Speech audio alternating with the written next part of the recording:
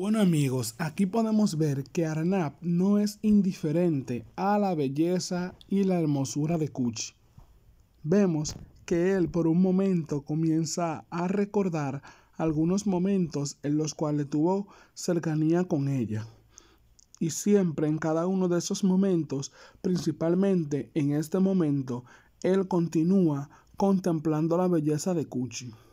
Vemos, queridos amigos, que luego de eso ellos van a terminar discutiendo nuevamente y por otra parte veremos que Manorama continúa haciéndole la vida imposible a Payal.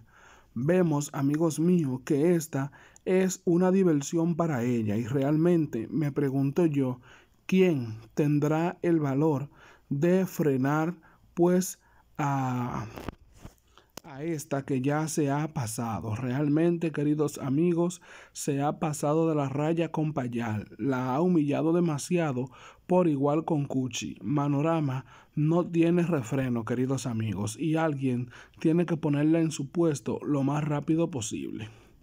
Vemos, queridos amigos, que ella continúa con sus humillaciones y Payal tratando de cumplir con estos rectos absurdos que ella le está poniendo solo para humillarla, vemos, queridos amigos, que Payal lo que termina es sufriendo, pues la misma Manorama hace trampa para que Payal no pueda ganar.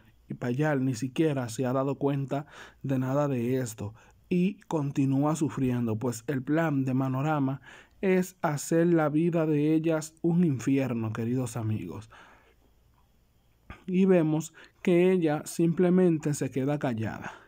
Manorama le dice unas cuantas palabras bastante fuertes y se marcha, diciéndole que ella no es digna de estar en esa familia, pero quien realmente no es digna es Manorama, porque Manorama no hace nada, simplemente molestar a Payal y a Cuchi, queridos amigos, pero deseo y anhelo que llegue el momento donde a ella se le ponga en su lugar, queridos amigos. Si el video te ha gustado, suscríbete y activa la campanita de notificaciones.